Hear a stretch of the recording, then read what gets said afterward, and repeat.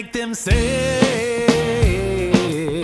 they're gonna have to get the snitch on